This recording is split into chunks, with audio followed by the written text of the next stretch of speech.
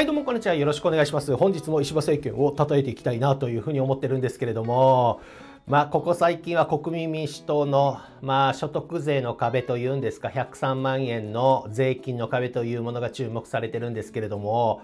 まあその話はね、ちょっと横に一旦置いといて、こんなニュースが入ってきたんですよ。これは壁で結構ね、ニュースが、いろんなニュースあるんです。103万とか106万、130万、150万とか。で、今回106万円の壁なんですよ。103万ではなくて、106万円の社会保険料の壁というものなんですよ。この話が出てきた、ニュースが出てきてびっくりしたんです。これね、バカじゃないんですかと。もうこれは本当にひどいし、怒るべきだと思うんです。たまったもんじゃねえよと思って。だからこの106万の壁社会保険料の壁が出てきたことによって国民民主党の103万円の所得税の壁問題がすげえちっちゃく見えるんですよ。それぐらいねひどいんです。ひどいことになってるんです。で何かって言ったらその要は106万円を超えたら厚生年金社会保険ですよね。加入しなければいけませんよと。で加入すると当然手取りが減りますよ。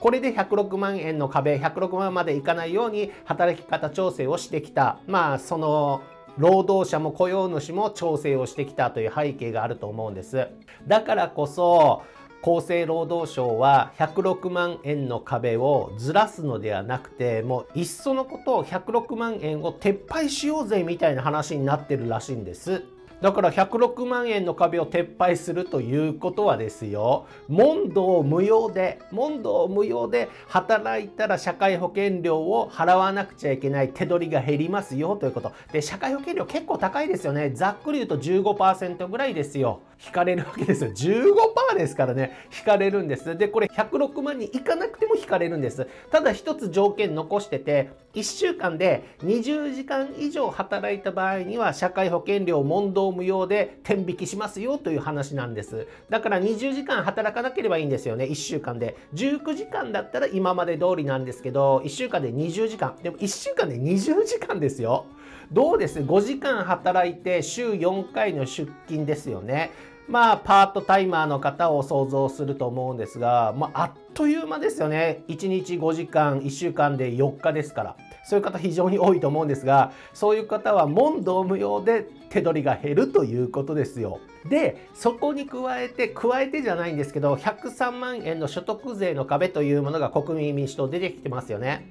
これがもしね、スライドされたとしても、そんなその手取りが増えるわけではないんですよね。例えば103万円の人が110万円に年収が上がりましたと。で、103万までは今まで通りね、税額控除なんですよ。だから103万から110万なので、増えた分の7万円に対して所得税がかかるんです。まあ5%なんですけど、10%と考えても7000円ですよ。7000円かかってたものが国民民主党の案を取り入れたら7000円が減税されますよと。1年間で言うと7000円が減税されますよ。手元に残りますよ。だから手取り増えますね。みたいな話なんです。でもこれ、これ、何ですか？厚生年金ですか？えぐくないですか ?106 万円いった時点で、その7000円どころの話じゃないんです。例えば、110万円に対して社会保険料15%だったら年間で言うと、15万円ぐらいですかね、取られるわけです。この差ですよ。7000円減税受けて年間で、で、年間で15万円ぐらい持っていかれるみたいな、こういう構図が出てきたんです。厚生労働省やべえよね。壁をずらすどころかめんどくせえから壁外してもういっそのこと全員から巻き上げればいいじゃねえかみたいなことになるらしいんです。ちょっとこの記事ご覧ください。これは共同通信ですね。えっと、タイトルが厚生年金年収問わずにパート加入ということで106万円の壁撤廃ですよ。撤廃。えぐいよね。負担増もということ。で、この左の図見たらわかると思うんですが、わかりやすいですよね。賃金が年収で106万円以上の人で、その働いてる会社の規模が51人以上の場合、で、さらに1週間で20時間以上働く場合には、厚生年金、社会保険入らないといけませんよという話だったんです。だから小さな会社ですよね。従業員51人以上じゃなくて、例えば家族経営みたいな感じですよ。そういうところは対象じゃなかったんですが、この年収と従業員数を撤廃するということなんですだからほとんどのパートタイマーがこれに該当するんじゃないんですが20時間以上なんてあっさりいくと思うんですよだからほとんどのパートタイマーが社会保険料で天引きされますよとまあ手厚い厚生年金だからいいという考え方もあるんですけどね。冒頭部分です。厚生労働省は会社員に扶養されるパートら短時間労働者が厚生年金に加入する年収要件を撤廃する方向で調整に入ったと。で勤務先の従業員数を51人以上とする企業規模の要件もなくすと。マジでえぐい。ほんとえぐい。で、週の労働時間が20時間以上であれば年収を問わず加入することになる。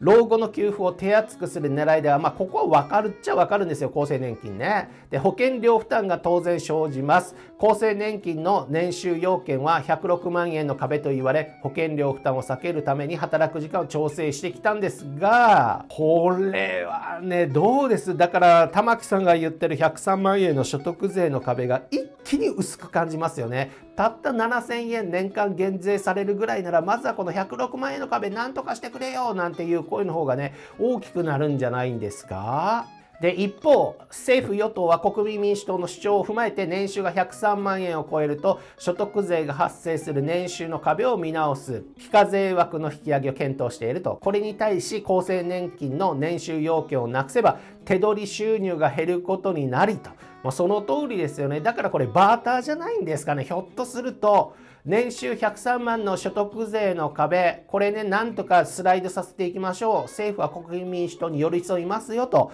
そのバーターとして、社会保険料の壁、これ撤廃させてくださいよ、みたいなバーター案件でしょ。で、最低賃金の引き上げに伴い、週20時間以上の労働時間があれば年収106万円を上回る地域が増えており厚生労働省は実態に合わせて撤廃すべきだと。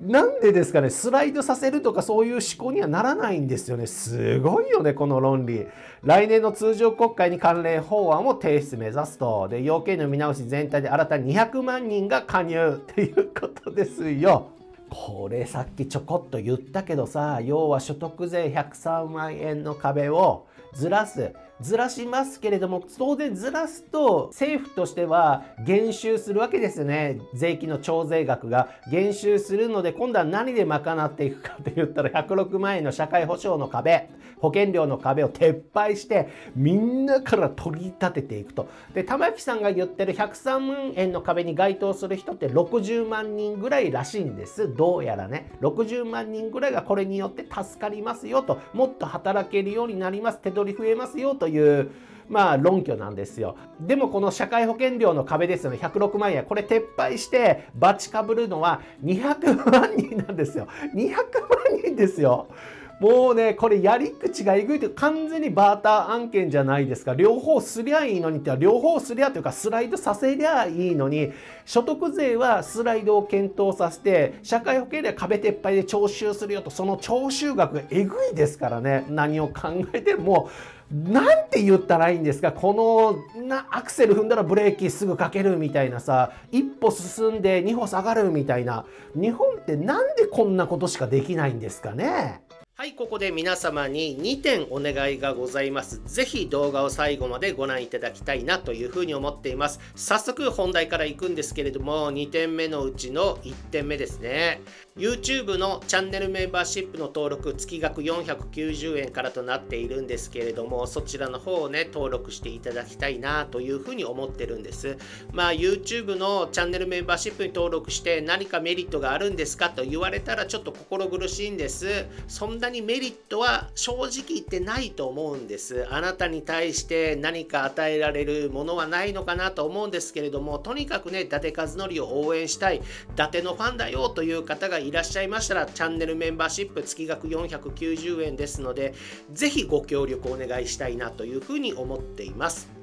で2つ目なんですけれどもいやいやいや伊達和則を直接支援したいよという方がいらっしゃるかもしれないんですね。そういう方がいらっしゃいましたら銀行振込でのご協力ご支援も承っております。銀行はみずほ銀行になります。で口座情報は概要欄の方に載せていますのでそちらの方をねご覧いただいて手続きの方を進めていただけたらいいかなというふうに思います。まあ僕としては直接支援がありがたいんですけれどもね YouTube のチャンネルルメンバーシップとかスーパーチャットになると YouTube がごっそり手数料を持っていっちゃうんですよ。だから私に入ってくるお金というのは非常に少なくなるんですよね。それに比べて銀行振込だとそのまんま私の活動費とかね機材購入費とか、まあ、そういうものに充てられるのでできればね直接支援の方がいいんですけれども、まあ、直接支援でもいいし YouTube チャンネルメンバーシップでファンになる伊達和則を応援するという方法でも構いませんのでぜひご協力していただきご支援していただきたいなというふうに思っています。ということで本日は2点皆様にお願いでした。以上です。ありがとうございました。